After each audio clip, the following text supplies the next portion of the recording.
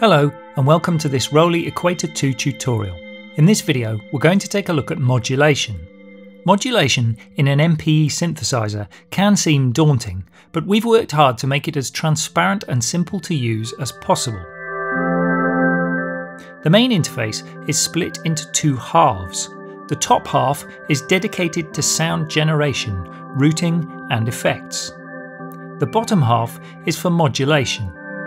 The sources are made up of the usual envelopes, LFOs, macros, etc. If you're wondering about some of the more esoteric looking sources, such as the maths module or the multi-mod envelopes, we'll be looking at those in a future tutorial. Just know that all your possible modulation sources are here.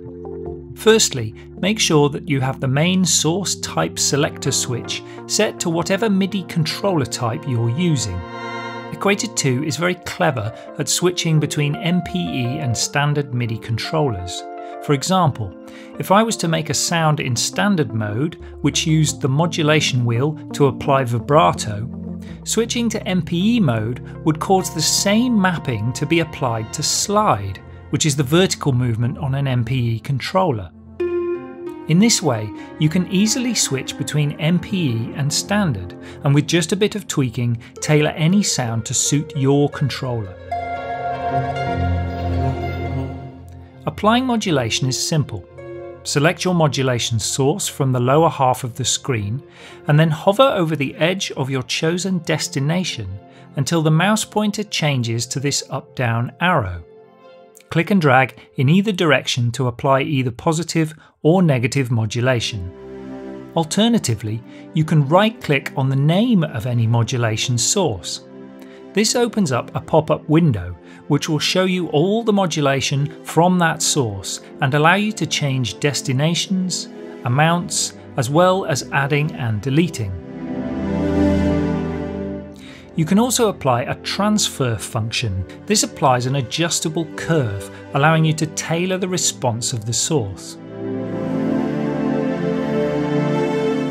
The exact same system works for destinations. So, if I right click on any destination parameter, I can see exactly what is modulating it. Again, I can change the source, amount, add, delete, and edit the transfer function. Notice the colour coding too. Each source group is coloured. Envelopes are red, LFOs are orange, macros are yellow, and so on. This makes it a lot easier to see what's going on at a glance. If you absolutely need to see everything that's going on in a patch, then the modulation matrix is the place. Every modulation connection is listed here and can be fully edited. The search function is useful for filtering what you see, and once again, the colour coding here is helpful to identify groups of modulation type. That's it for this video. Join me soon for the next one.